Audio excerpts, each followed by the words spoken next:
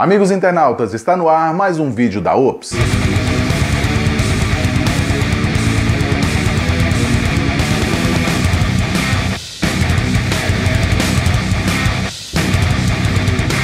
Pois é, meu amigo, você deve estar achando estranho, né? Muito tempo que eu não faço vídeo aqui para OPS, né? Poucas postagens no Facebook. Pois é, eu estou passando por alguns probleminhas aqui que já logo logo serão resolvidos, mas para mostrar para vocês que o trabalho da Ops nunca parou, eu vou mostrar para vocês mais um caso daquele que eu vou contar com a sua colaboração para a gente ter de volta um din-din nosso que foi gasto que, é, de maneira assim não muito correta, pelo menos no meu ponto de vista. Bom, você conhece a Brunielli? Não, né? Pois é. Mas ela tem um apelido, chama-se Bruni, né? Esse apelido é Bruni e ela é conhecida ali no interior de Minas Gerais porque ela tem ou tinha pelo menos um programa de televisão daqueles bem chenchelentozinho, mas enfim. E ela foi eleita deputada federal. Na sua primeira tentativa já foi eleita, graças também ao, ao, ao marido que já é político já de longa data, enfim, não importa. O fato é que ela está aqui na Câmara Federal, não sabe muito bem o que deve ser feito, o que tem que ser feito lá na Câmara né? Pelo menos esse é o meu ponto de vista, mas gastar dinheiro público para pagar refeições de outras pessoas parece que ela sabe. Isto é o que mostra as notas fiscais que ela apresentou até agora, né, de, enfim, algumas despesas que sabe, não bate. Eu vou mostrar para vocês alguns casos e depois vou explicar para vocês o que é que nós vamos fazer para dar uma, uma cutucada nela para ver se ela devolve esse dinheirinho para gente. Aliás, para os cofres públicos.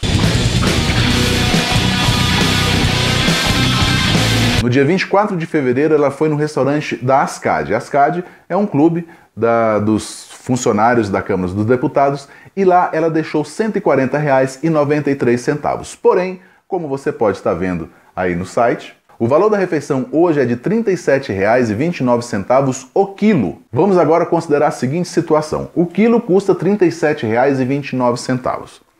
Qual mulher do porte desta deputada come um quilo? Dificilmente alguém coma um quilo. A média de uma mulher num restaurante self-service, a média é de 500 gramas de comida. 500 gramas, então, é metade de R$ 37,29. Ou seja, vamos supor que ela esteja com muita fome, que ela tome uma água também, um refrigerante, alguma coisa. É plausível que consideremos que uma refeição na Ascad custe para ela no máximo 40 reais. Tá? Vamos considerar né, 10% de garçom e tal, pode fazer o cálculo aí, vamos considerar a média 40 reais. Só que ela conseguiu gastar neste restaurante R$ 140,93. Bom, mas aí no dia 25 de fevereiro, no dia seguinte, ela almoçou lá na Câmara Federal mesmo, tem um restaurante lá do Senac, só que ela almoçou quatro vezes. Gente, impossível. Olha aí as notas. A diferença de, de uma nota para outra na hora do pagamento é de um minuto, quer dizer, isso aí está parecendo tempo de corrida de Fórmula 1. Mas a terrível fome de nossa querida deputada se mostrou presente no dia seguinte, no dia 26. Ela foi no Coco Bambu, que é um restaurante chique aqui de Brasília, na região nobre aqui de Brasília. Só que lá é o seguinte: os pratos, em média, custam 100 reais e servem três pessoas. 100 reais para servir três pessoas. Só que ela conseguiu numa única sentada, gastar 215 reais. E você acha que ela ficou satisfeita? Não! Neste mesmo dia 26, ela ainda fez mais duas refeições no Tulip Inn, que é num restaurante, num, num, hotel. Pois bem, em março ela repetiu também mais algumas dessas proezas que se eu vou ficar falando aqui.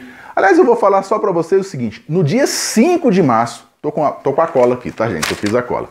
No dia 5 de março, ela fez quatro refeições ao custo total de R$ 591,76. No único dia, ela gastou quase 600 reais em restaurantes. Bem, eu entrei em contato lá no gabinete da deputada, tentei falar com ela, ela não estava. Pedi é, eh, para falar então com a pessoa responsável que toma conta dessa parte da CEAP, que apresenta as notas, etc. A pessoa se chama Kennedy é, me foi prometido que ele entraria em contato. Infelizmente, não entrou em contato, então o negócio é o seguinte: já que eles não querem falar comigo, de repente querem falar com você. Então, o que nós vamos fazer agora é o seguinte: você vai acessar aqui na descrição do vídeo um linkzinho que você vai ter todas as informações, inclusive todos esses gastos que me soam estranho, e nós vamos mandar um e-mail para ela. Então, cada um de vocês vai mandar um e-mail com os dados que eu vou deixar disponível para vocês e nós vamos exigir que ela explique todos estes gastos. Se ela não conseguir explicar, se ela admitir o erro, né, que com certeza é erro, isso aqui está mais do que provado, que é impossível uma pessoa, por exemplo, gastar quase 600 reais em quatro refeições no único dia, por exemplo, ou almoçar quatro vezes no restaurante na mesma hora, no mesmo, no mesmo dia, em diferença de um minuto? Pois é. Então, a gente vai exigir que ela devolva o excedente, devolva aquilo que não foi gasto apenas com ela. Então, tá valendo, vai lá no, na descrição do vídeo, clique no link e mande um e-mail para ela, tá? Vou contar com vocês mais uma vez. Este é mais um vídeo da Ops, é mais um trabalho da Ops que precisa da sua colaboração. E gente, e falando nisso, eu estou precisando de dinheiro para poder continuar esse nosso trabalho, tá? Não estou fazendo uma ameaça de que vai acabar, independente de qualquer coisa, eu vou continuar, só que eu preciso me manter financeiramente, tá? E é muito simples. Existe aqui o sistema de doações mensais, de doações únicas, você também pode comprar adesivos da Opus, enfim. Veja da forma que você pode me ajudar financeiramente, manda um dinheirinho aí, porque a coisa não tá fácil.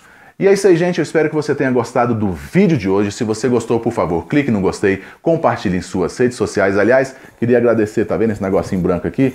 Pois é, tá ligado no meu celular. Eu quero agradecer a pessoa que me deu esse toque, porque o áudio não estava ficando muito bom, porque esse aqui é o áudio do celular que eu estou gravando. Agora, este é o áudio da câmera.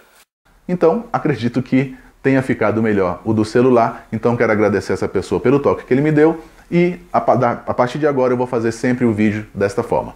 É isso aí, gente. Muito obrigado, um grande abraço e até mais.